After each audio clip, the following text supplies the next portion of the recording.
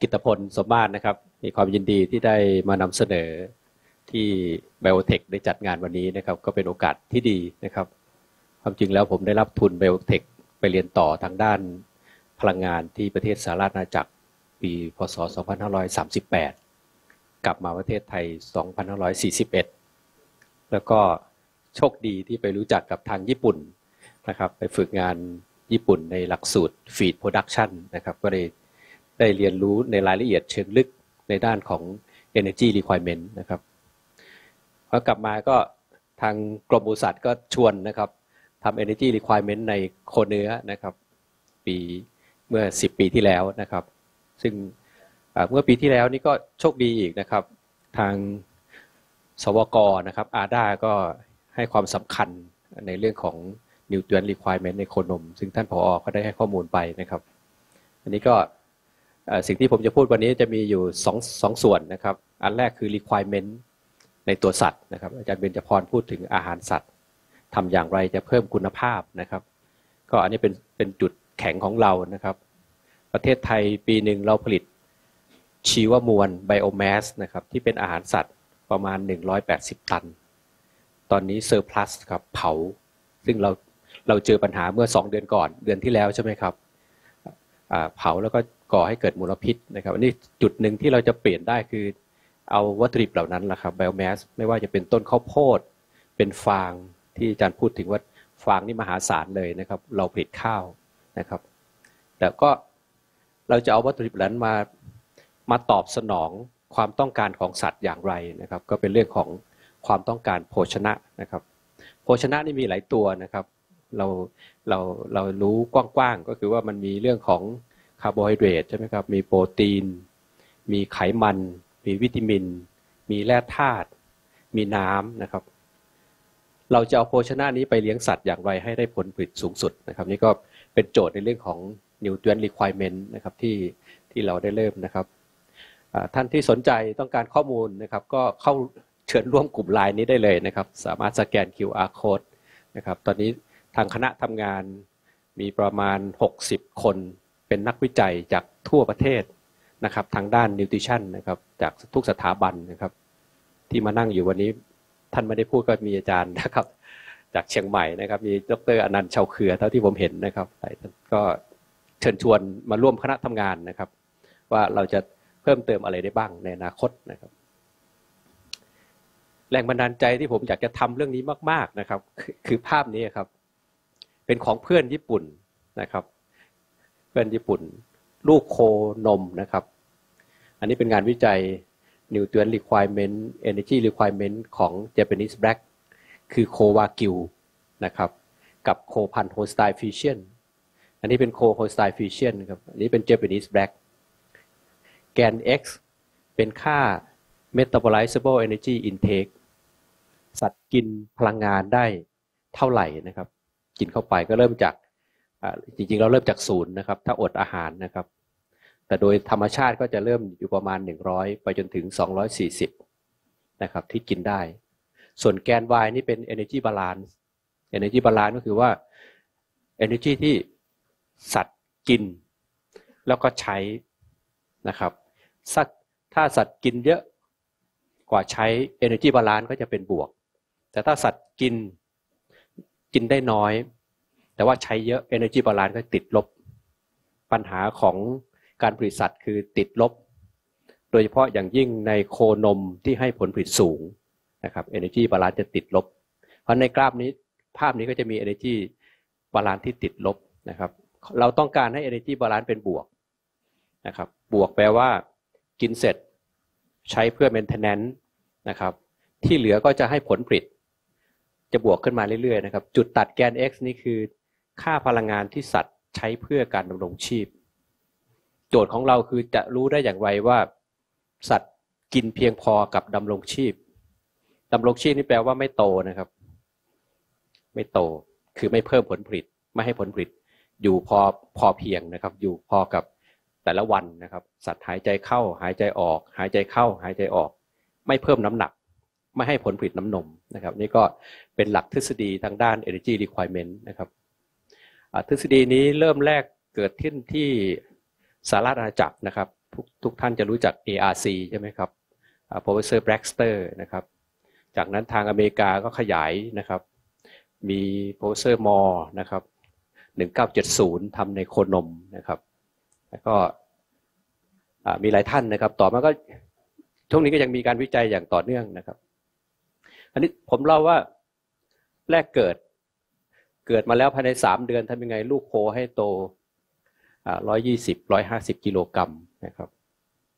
หกเดือนทำยังไงให้มันโตสามร้อยอันนี้คือจุดท้าทายของเรานะครับ ลูกโคของเราเกิดวันนี้ที่ที่ขอนแก่นที่ผมกำลังเก็บซื้อลูกวัวอยู่ตอนนี้นะครับ น้ำหนักอยู่ประมาณสามสิบกิโลกรัมนะสามเดือนเลี้ยงให้ได้ร้อยห้าสิบหกเดือนให้ได้สามร้อยนะครับสิบเดือนนะครับ ให้ได้ สี่ร้อยนะครับสิบเอ็ดเดือนถึงยี่บเอ็ดเดือนให้ได้เจ็ดร้อยถึงแปดร้อยกิโลกรัมนี่ผมเห็นว่าถ้าเราทำได้แบบนี้แล้ว เราสามารถที่จะเพิ่มผลผลิต เพิ่มประสิทธิภาพการผลิตโคนมนะครับ หรือโคเนื้อของเราได้ได้ดีนะครับ ซึ่งก็ได้พิสูจน์แล้วนะครับว่าที่ 19-20 เดือนเราสามารถเลี้ยงวัวไทยนะของไทยไปจนถึง 650 กิโลกรัมนะครับ นี้ก็จะทำให้ ประสิทธิภาพของเราดีขึ้นนะครับ ในเรื่องของอายุกับน้ำหนัก ซึ่งญี่ปุ่นเขาก็ใช้ความรู้นี้แหละครับ ก็ก็เอาเป็นสิ่งที่มาให้ดูว่าที่มาของ energy requirement นะครับ ระหว่างพลังงานที่ใช้ประโยชน์ได้กินได้กับ energy requirement เพื่อ energy balance นะครับ ก็จะทราบว่า maintenance เท่าไหร่ เรารู้จัก maintenance เสร็จเราก็จะทราบว่าเราต้องการให้วัวมันโตกี่กิโลนะครับ ก็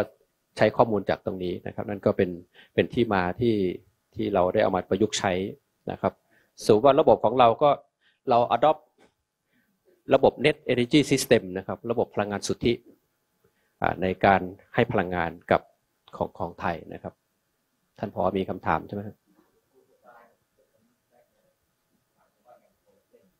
คนละเส้น FNC เท่ากันแต่ว่าโฮสไตล์รีควายพลังงานที่สูงกว่า ถ้าดูในนี้นะครับร้อยยี่สิบ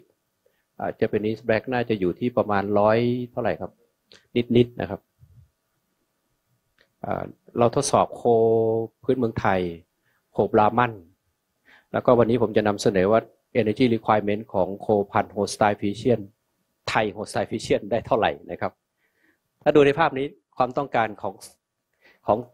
โคสองพันธุ์นี้แตกต่างกันนะครับ ครับนี่ก็ท่านผอได้ พูดถึงแล้วนะครับว่า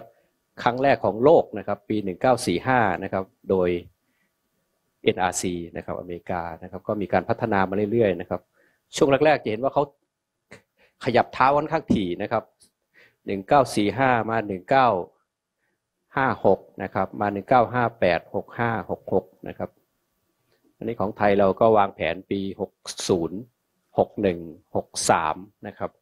ก็คาดว่าน่าจะสมบูรณ์มากยิ่งขึ้นนะครับครับก็เล่มแรกของเราออกมาปี 2008 นะครับ ล่าสุดอินดราประเทศฝรั่งเศสนะครับออกมา 2018 แล้วก็อเมริกาเป็นในโคเนื้อ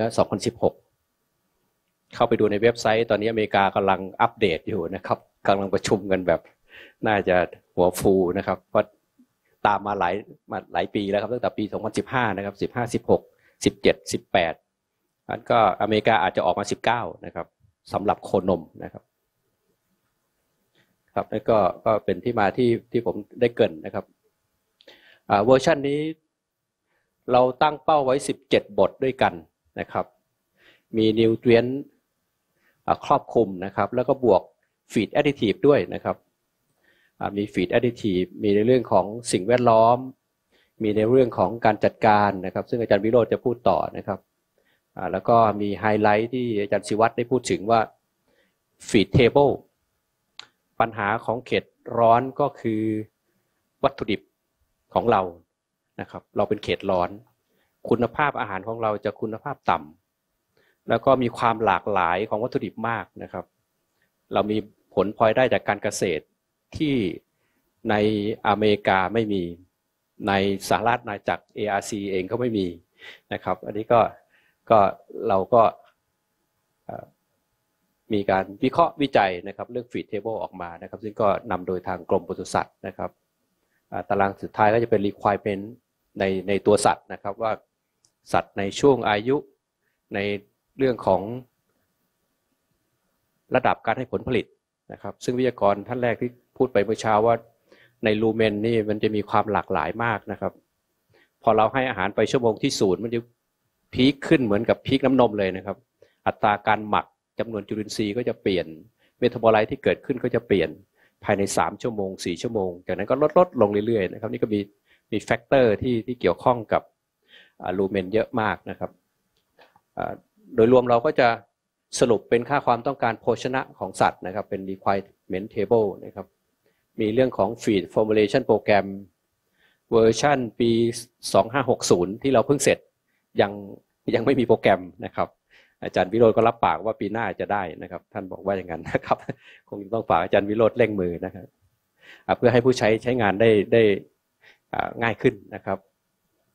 ก็สุดท้ายเราก็จะมี research gap ตรง research gap หนึ่งปีที่ผ่านมาที่เราศึกษาก็พบว่า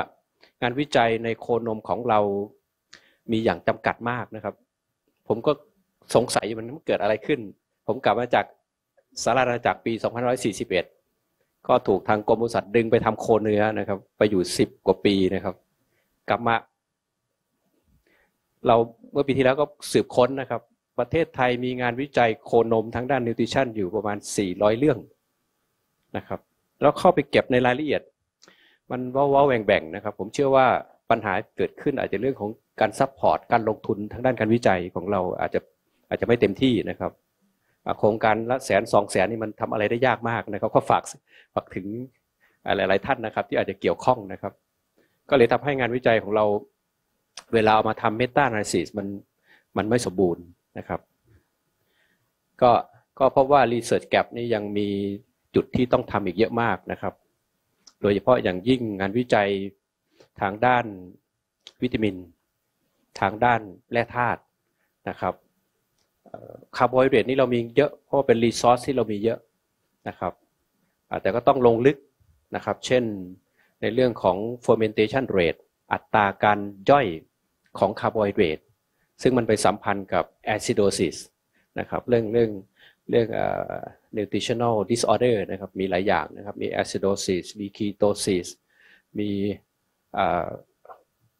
dysphasia abomasum นะครับ มี fatty liver อะไรประมาณนี้นะครับ ก็ในเอกสารนี้ก็จะมีอาจารย์ทางมหิดลช่วยรีวิวนะครับ ครับสิ่งที่เราทำปีแรกนะครับมีอยู่สี่มีอยู่ห้าโครงการใหญ่ ๆ นะครับ มีเรื่องของ feed table นะครับ ทางกรมปศุสัตว์ แล้วแล้วก็มาตามเรื่องของ digestibility นะครับ ที่เรียนว่าวัตถุดิบอาหารสัตว์ของเรามีเยอะมากที่ไม่สามารถหาได้ในตาราง feed table ของ NRC ARC นะครับ อันนี้ทางกรมสัตว์ก็ดำเนินการวิจัยที่ท่าพระนะครับ ตอนนี้เรามีค่า digestible energy ของไทยนะครับ มีค่า metabolizable energy ของไทย มีค่า net energy ของไทยนะครับที่เป็นการวิเคราะห์โดยตรงทางทางญี่ปุ่นสนับสนุนแชมเบอร์ให้นะครับ มันต้องใช้แชมเบอร์เดี๋ยวผมจะให้ดูอีกทีหนึ่งนะครับ ก็ก็โปรเจกต์ที่2นะครับโปรเจกต์ที่ 3 ที่ 4 ก็เป็นเรื่องของ energy protein requirement นะครับ ก็เราตั้งเป้าไว้ 3 ปี ให้ได้เล่มที่สมบูรณ์นะครับ ครับนี่ก็เป็นความสัมพันธ์ระหว่างโครงการที่ทำนะครับ ก็มีโครงการใหญ่ ๆ ทั้งหมดนะครับร่วมกันนะครับ โครงการที่ 1 โครงการที่ 2 3 4 5นะครับ แล้วก็จะมีการดำเนินการวิจัยเชิงเรียกว่า Meta Analysis นะครับเป็นการอภิมานการวิจัยนะครับคือการรวบรวมข้อมูลจากหลาย ๆ งานทดลองมามาวิเคราะห์ Meta Analysis นะครับเราก็จะได้ค่า Generalize นะครับเป็นค่า Recommendation นะครับ จากนั้นก็จะได้เป็นเล่มนะครับ อันนี้ก็เป็นภาพภาพกว้างของโครงการนะครับ ก็อยากให้นักวิจัยที่มีอยู่ได้ ได้มาวิจัยร่วมนี้ร่วมกันนะครับ เพิ่มมากขึ้นเพราะมันมีแกลบอยู่ในหลายประเด็นอยู่ในหลายส่วน ครับกรอบทั่วไปที่ท่านผอได้นำเสนอไปแล้วนะครับ ว่าเรามีกรอบทางด้าน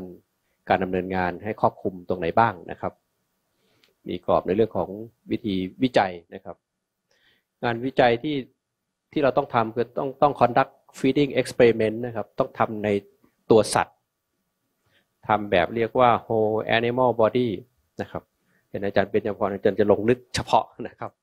อันนี้ก็เราจะคอมไบกันยังไงในในอนาคตนะครับ แต่เมธอดวิธีที่ NRC AIC ทำก็คือต้องต้องเลี้ยงสัตว์ในใน in vivo นะครับทดสอบการย่อยได้นะครับ การย่อยได้ digestion trial เราจะได้ key performance index ก็จะมีค่า TDN นะครับ ได้ค่า DE ได้ค่า ME นะครับจากการทำ digestion trial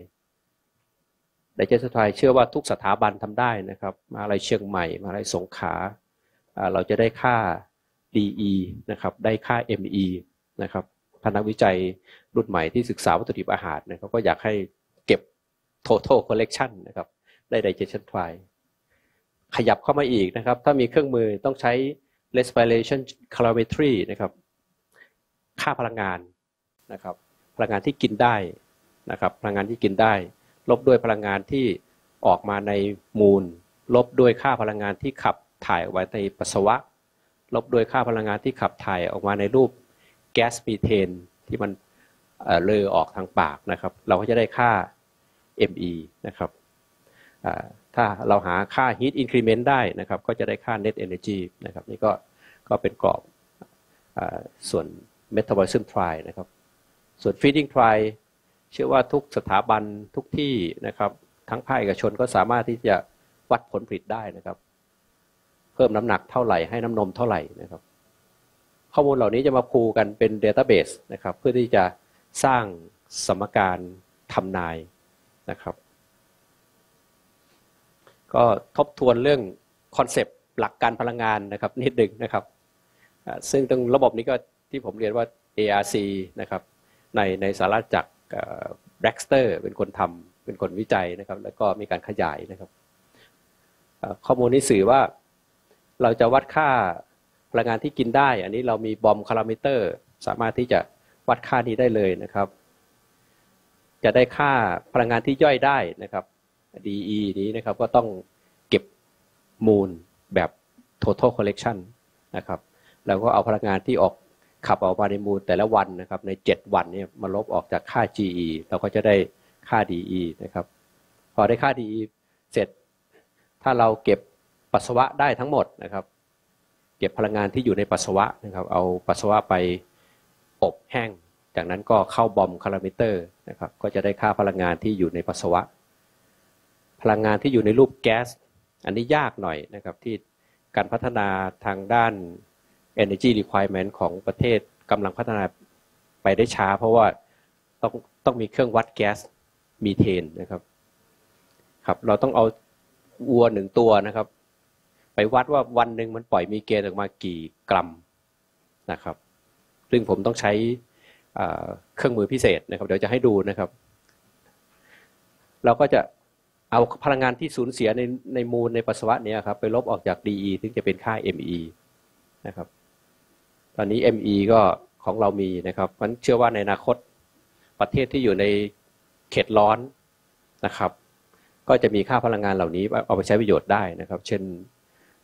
ฟิลิปปินส์มาเลเซียนะครับและสุดท้ายถ้าเราสามารถเดินต่อไปถึง net energy นะครับ โดยหาค่า heat increment นะครับเราก็จะได้ค่า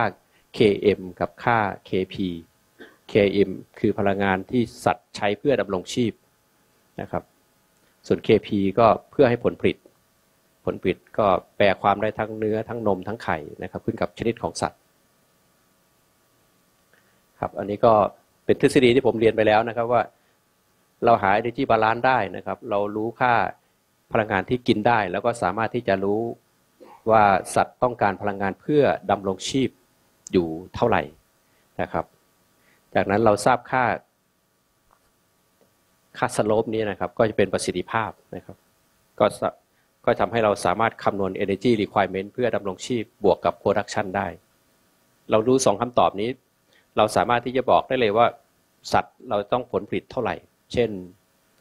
น้ำนม 30 ลิตรต่อวันมันจะต้องกินเท่าไหร่นะครับ อันนี้ก็ โดยหลักทฤษฎีของของการวัดค่า energy requirement for maintenance กับ energy requirement for production นี่เป็นภาพจำลองวิธีวัดแก๊สในตัวสัตว์นะครับ เราต้องเอาสัตว์เข้าไปในใน head cage นะครับ แล้วก็ดูดอากาศโดยใช้ gas flow นี้นะครับ ผ่าน blower นะครับ เราก็จะรู้ว่าในหนึ่งนาทีอากาศดึง ดึงอากาศออกจากตัวสัตว์เนี่ยครับไปวัดแก๊สโดยโดยใช้ gas analyzer นะครับมีเทน analyzer หรือออกซิเจน analyzer คาร์บอนไดออกไซด์ analyzer นะครับสามตัว ในโคนมเราต้องดึงอากาศอยู่ประมาณนาทีละ 700 ลิตร เหมือนเราอยู่ในห้องเนี่ยครับ ดึงอากาศเข้าไปอากาศก็จะพอวัวมันปล่อยปล่อยแก๊สออกมาใช่ไหมครับ เป็นมีเทน เป็นคาร์บอนไดออกไซด์ก็เข้ามาที่ แก๊สอนาลิเซอร์ได้นะครับ แก๊สจะไม่ออกด้านหลังนะครับ ครับนี่เป็นภาพแชมเบอร์ที่มหาลัยขอนแก่นนะครับ เรามีแชมเบอร์วัดได้ครั้งละสี่ตัวครับนี่ก็เป็นวัวที่ที่เราใช้วัด ก็ต้องให้นักศึกษาเขาเก็บมูล งานหนักอยู่ที่เก็บมูลครับยี่สิบสี่ชั่วโมงนะครับก็ต้องชอบจริง ๆ นะครับ เก็บมูลเก็บปัสสาวะนะครับ อันนี้ก็ มีเสือนะครับ อันนี้ก็แนะนำนะครับเสือพาราลัปเปอร์ของเราใช้ได้ผลดีจริงนะครับหัวชอบมากนะครับหัวชอบมาก ครับนี่ก็เป็นเบอร์ที่ท็อปของงานวิจัยเรานะครับ 26 ลิตรต่อวันนะครับน้ำนมประมาณ 6,000 กว่าลิตรนะครับ 6,000 กว่าลิตรตลอดปีนะครับ อันนี้ผมงานทดลองนี้เก็บตลอดปีนะครับก็เชื่อว่าตอนนี้ศักยภาพโคนมของเรา ไปได้ดีมากนะครับ6,000ลิตรต่อวันนี่ผมว่าไม่ธรรมดานะครับในหนึ่งปีจะได้เงินอยู่ประมาณ เขารับซื้อนมของของงานวิจัยเรานะครับ 18 บาทต่อลิตร ก็ได้เงินประมาณแสนสองต่อปีนะครับ มูลค่าขายนมนะครับ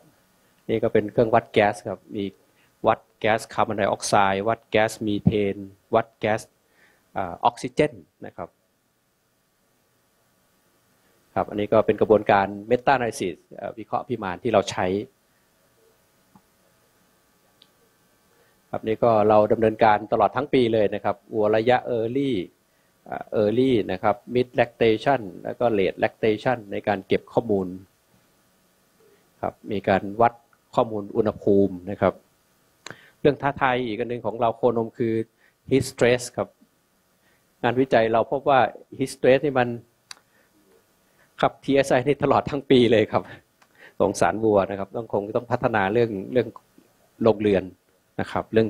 คาวคอมฟอร์ตใช่ไหมครับ เรื่องสภาพอุณหภูมินะครับครับตารางที่หนึ่งนี้เป็นข้อมูลที่เราเก็บได้นะครับ มี N 42 42 ค่า เป็นงานวิจัยโคนมไทย ว่าวัว 42 ตัวที่เก็บการกินได้พลังงานนะครับ ก็มีข้อมูลเบื้องต้นนะครับ โปรตีนในอาหารนะครับ เราอยู่ที่ประมาณ 15 นะครับ มีค่า NDF ประมาณ 42 มีค่าไขมันประมาณ 2.7%นะครับ อันนี้เป็นหน่วยกรัมต่อกิโลกรัมนะครับ มีค่า digestible energy มีค่า metabolizable energy นะครับ มีค่า diameter intake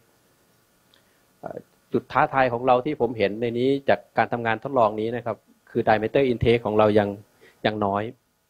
ปัญหาคือโคกินไม่ได้ โคกินไม่ได้ มันเต็มก่อนครับ อาหารอาหารเราคุณภาพต่ำเพราะทางทางไบโอเทคถ้าจะมองเรื่องปรับปรุงคุณภาพอันนี้ผมว่าชัดเจนนะครับว่าทำอย่างไรจะปรับปรุงคุณภาพอาหารให้มันดีขึ้น ย่อยง่ายขึ้นนะครับมีค่า ME มีค่าผลผลิตน้ำนม top ของเราก็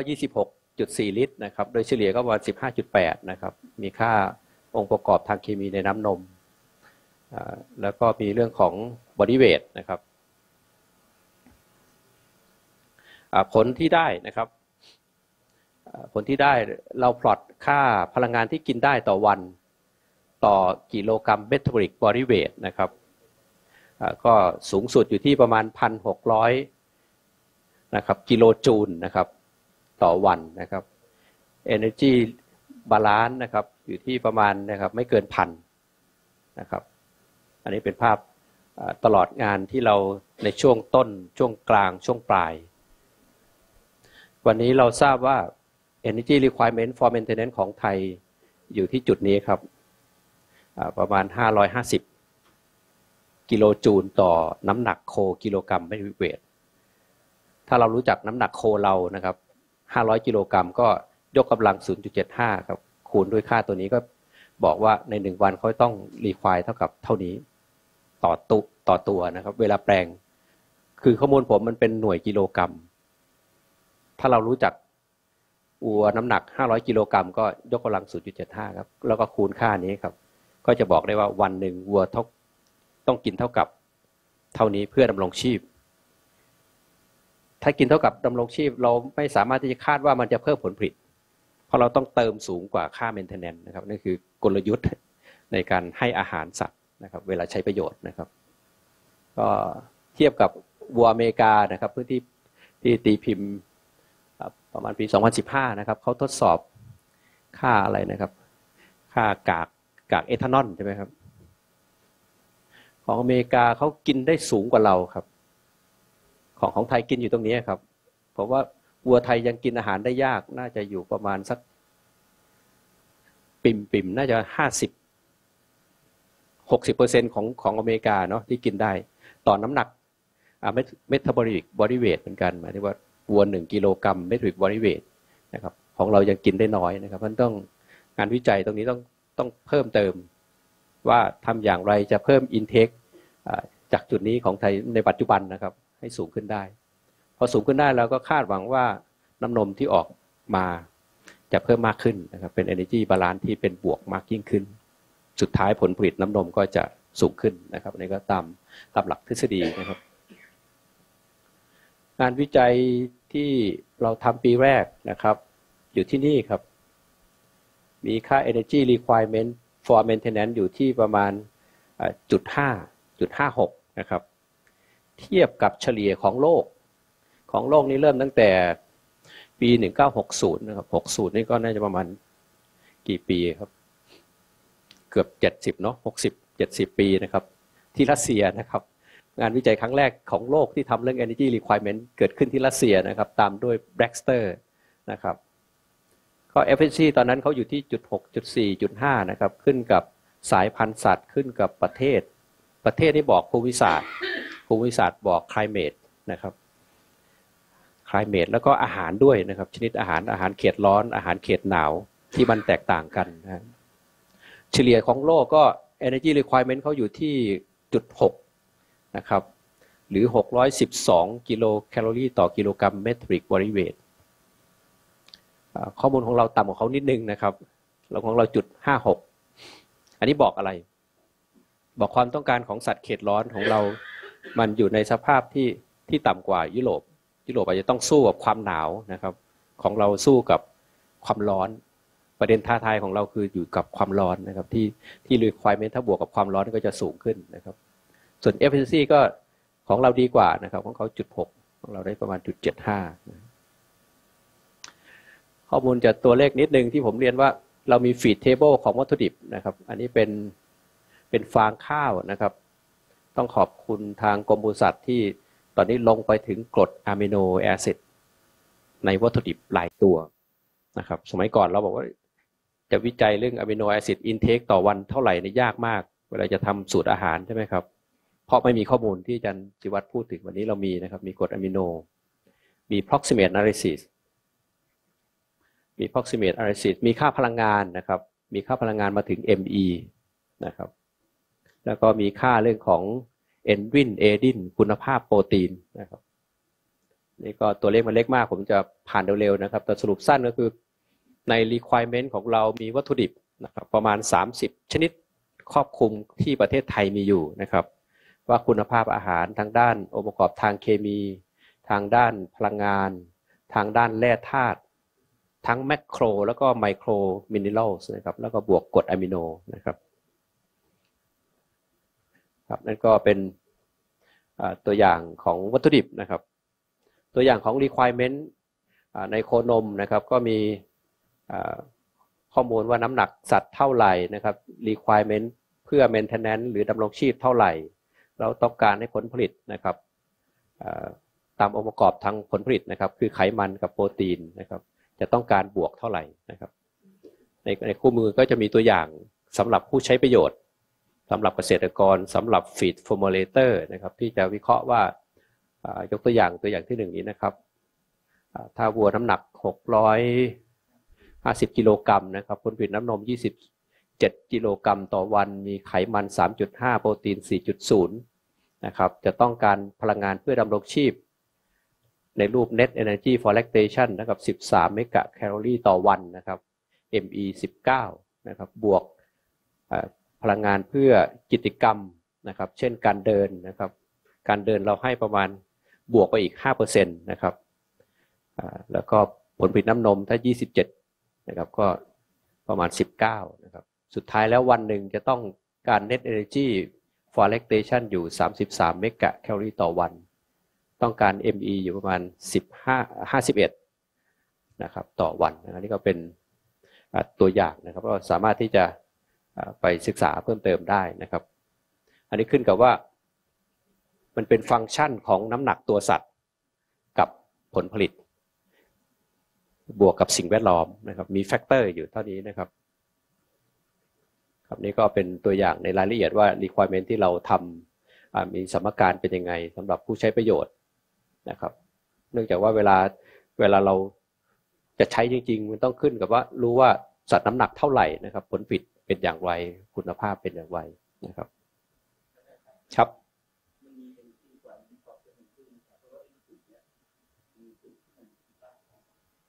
ครับโดยหลักการเราต้อง partition pregnancy ด้วยครับ แต่ปีหนึ่งปีแรกนี่เรายังไม่มีนะครับ ยังไม่มีแต่โดยหลักการต้องบวกบวกค่า maintenance แล้วก็เวทเกนนะครับ หมายถึงแม่วัวนะครับ เราต้องการให้เพิ่มน้ำหนัก กี่กรัมนะครับ แล้วก็บวกเรื่องของ pregnancy สุดท้ายก็บวก production ผลผลิตน้ำนมตามคุณภาพครับก็รายละเอียดสามารถที่จะสืบค้นเวอร์ชันนี้สามารถพิมพ์ keyword นี้ได้เลยนะครับใน Google จะสามารถดาวน์โหลดไฟล์แต่เป็นภาษาไทยได้นะครับ ส่วนภาษาอังกฤษเราแขวนไว้ที่เว็บไซต์ของของญี่ปุ่นนะครับ ก็สามารถที่จะดาวน์โหลดได้ ส่วนเวอร์ชันโคนมนะครับ ก็พอเรียนว่าประมาณเดือนพฤษภาน่าจะเป็น finalize นะครับ แล้วก็เรื่องลิขสิทธิ์กับทางสวกอีกทีหนึ่งว่าจะให้เปิดเผยนะครับอะไรอย่างไรนะครับอีกทีหนึ่งนะครับครับนั่นก็เป็นภาพรวมของ